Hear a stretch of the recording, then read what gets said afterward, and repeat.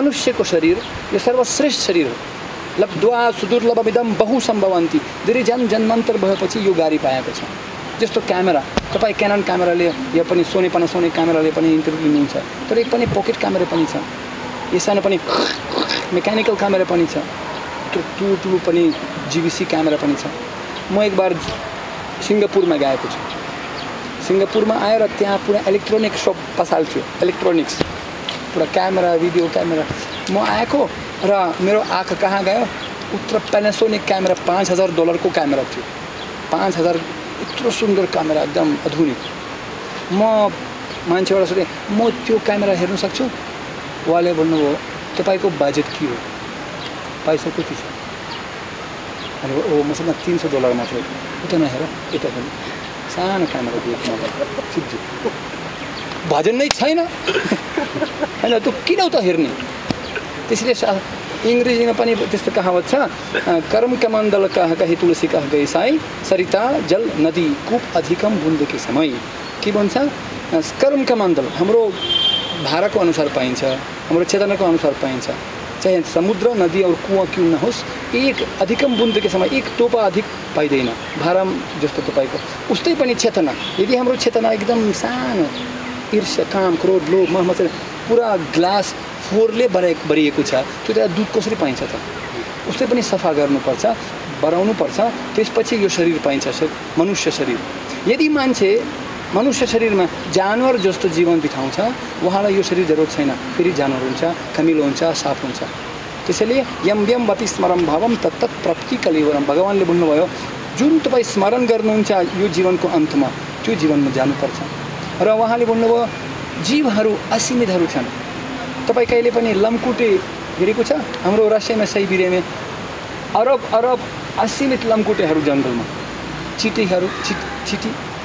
त्यसपछि जीवहरू पन्छीहरू गिन्ती गिन्ती गर्नु सक्दैन जस्तो जीवनमा जीवहरू छन्। तर यो मन मानव शरीर यो आठ अरब केही पनि छैन। केही छैन। दुई अरब थियो अब आठ अरब एक सौ अरब पनि हुनसक्छ। के ठुलो कुरो? पृथ्वी माटासँग यस्तो शक्ति छ हामीहरू पनि बिस तिस पचास अरब मान्छेहरूलाई पनि पालन पोषण गर्न सक्छ। पूर्णस्य पूर्णमादया पूर्णम एव शिष्यति।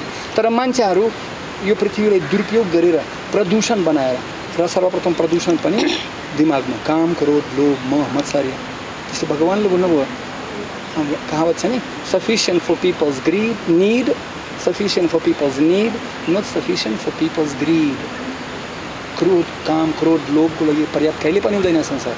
त्यसले भगवान्ले गीतामाले भन्नुभयो त्रिविधिम नारक सेदम द्वरम आत्मानम नाशनम कमा क्रोधस तथा लोभस त्रयम त्यजेत। यो त्याग दिनुपर्छ संसारको लागि। त्यो अज्ञानको कारणले मान्छेहरू आजभोलि झगडा गर्छन् एक दुसरालाई मर्पित गर्छन्। अब त्यो के के के बिमारी के के युद्ध हुँदैछ एक दुसरालाई खतम गर्नुको लागि।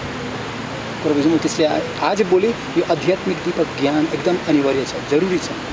और यो नेपाली मान्छेको कर्तव्य यो ज्ञान वितरण गर्नुपर्छ। किनकि यो नेपाली ज्ञान हो सनातन धारण गुरुजीले पुनः जन्मको बारेमा भन्नुभयो। एउटा कुरा मैले नबुझेको के हो त भन्दाखेरि जस्तो अब भन्नै पऱ्यो गुरुजी अप्ठ्यारो नमान्नु होला होइन। जस्तो पहिला कुखुराहरू छ नि यो मान्छेले उत्पादन गरेको नि त। एकपटकमा मेसिनमा राखेर हजारौँ लाखौँ भनेर उत्पादन गर्छ। त्यसमा आत्मा भर्ने काम कसले गर्छ? तपाईँको कुखुरा त मान्छेले उत्पादन गरेर एकचोटिमा हजारौँ कुखुरा कसरी उत्पादन हुन्छ त्यहाँ? आत्मा त फेरि हुन्छ त्यसमा आत्मा त आउँछ नि पछि। त्यो अचम्म लाग्दो कुरो छ त्यो कसरी सम्भव हो? हेर्नुहोस् त भगवान्ले भन्नुभयो गीतामा अजो नित्यम शाश्वतोयम पुराण नहन्यने हन्यमने शरीर। नहन्यते हन्यमने शरीर। आत्मा यो आध्यात्मिक जस्तो तेलको पानी। तेल और पानी मिल्दै मिल्दैन। यो शरीर हो यो भौतिक वास्तु। घुमेर पोनलो भयो खम्मन त्यो यो पानी पृथ्वी होइन हावा कापा पित हावा त सब पुरा शरीर बनाएको चाहिँ यो झाडा वास्तु। जस्तो यो यो पनि होइन? तर भित्र फरक के हो? मुर्दा मान्छे र जीवित मान्छे के फरक? जस्ता स्त्री गर्भवती आधा हुनु सक्दैन मान्छे मुर्दा आधा हुनु सक्दैन उस्तै पनि ज्ञान आधा हुनु सक्दैन। या गर्भवती या तो के भन्छ ज्ञान। स्त्री या त या त गर्भवती हुनुहुन्छ या त गर्भवती हुनुहुन्न। बिचमा त हुनु सक्दैन। मान्छे पनि या त मुर्दा हुनुहुन्छ या त जीवित हुनुहुन्छ। बिचमा थोरै मुर्दा तर थोरै होइन होइन। उस्तै पनि ज्ञान सम्पूर्ण ज्ञान के हो? पाँच विषयको बारेमा थाहा हुनुपर्छ मान्छेलाई। आत्मा के हो? भगवान को हुनुहुन्छ? पृथ्वी प्रकृति के हो? कर्म के हो? र काल के हो? सम्पूर्ण ज्ञान पाँच वास्तुको बारेमा गीतामा दिएको छ। त्यसैले वो आत्मा अन्दन्तरस्तम परमाणु छ अन्तरस्तम आत्मा परपरमाणुमा हुनुहुन्छ हर हर परमाणुमा पनि आत्मा हुनुहुन्छ परमात्मा पनि हुनुहुन्छ तर प्रकाश हुन्छ चेतनाको अनुसार। चेतनाको अनुसार। त मान्छेहरू पनि यो घाँसहरू कमिलाहरू परमाणुहरू पनि यो आत्म पित्रो आत्मा छ। तर मनुष्य शरीर जन जन्मान्तर लाखौँ लाख जन जन्मान्तर भएपछि पाइन्छ। जस्तो तपाईँ मोबाइल टेलिफोन उदाहरणको लागि। एक नोकिया मोबाइल टेलिफोन छ सानो सानो एक हजार रुपियाँको। यो यो त स्यामसुङ या आइपोड आइ आइफोन छ त्यो पनि बिस हजार रुपियाँ।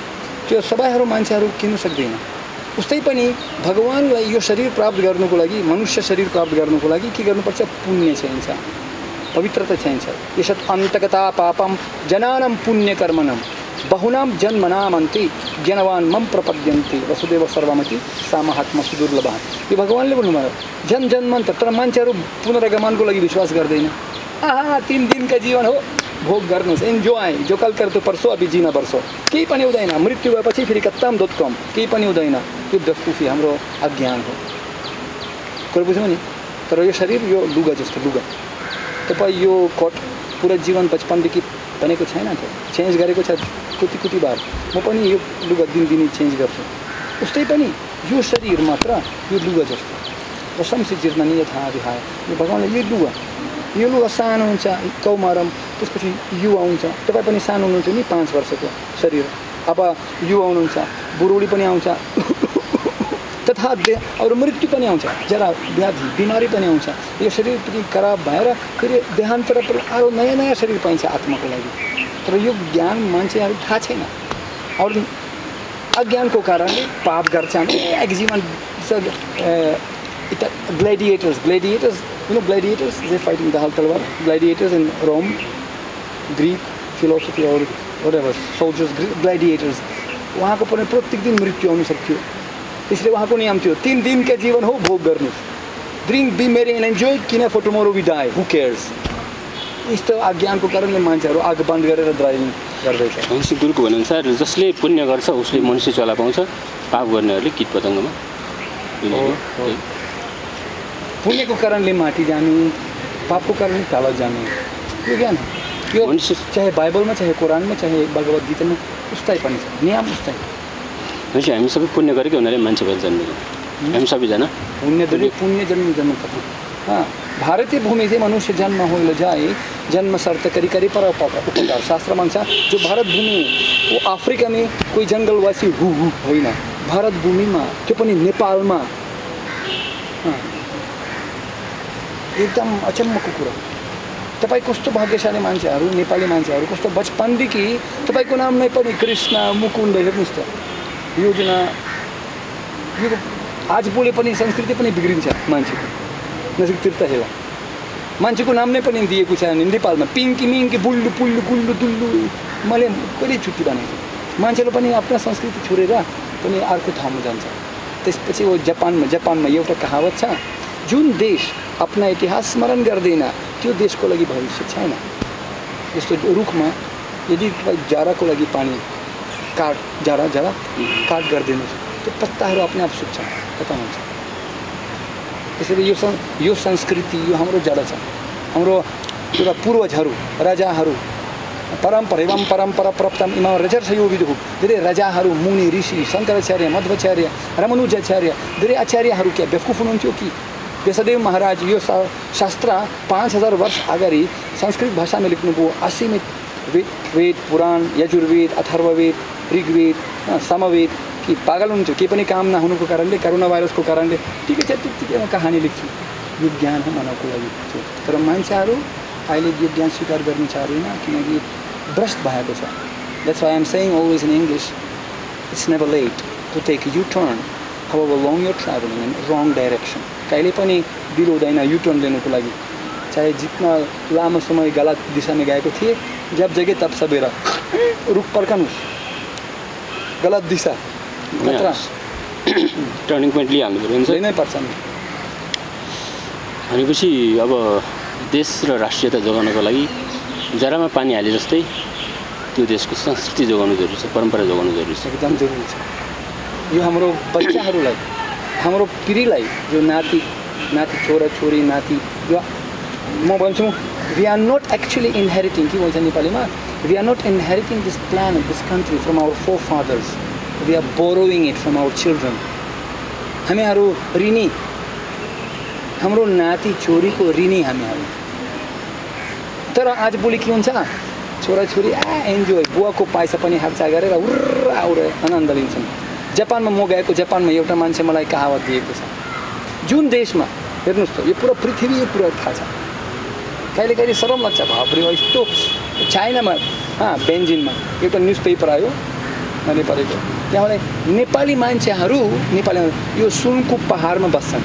यो सुन यो नेपाल यो देशमा यो सुनको जो है देश। उनको देश। उहाँ हो नि त यो जडीबुटी पनि छ ज्ञान पनि छ शान्ति पनि छ अब पानी प्रकृति कस्तो रमाइलो छ तर मान्छेहरू दुरुपयोग गर्छ त्यसले दुःख लाग्छ। जस्तो रसिया और नेपाल दाजुभाइ हुनुहुन्थ्यो। त रसिया तुलु दाई नेपाल सानो भाइ।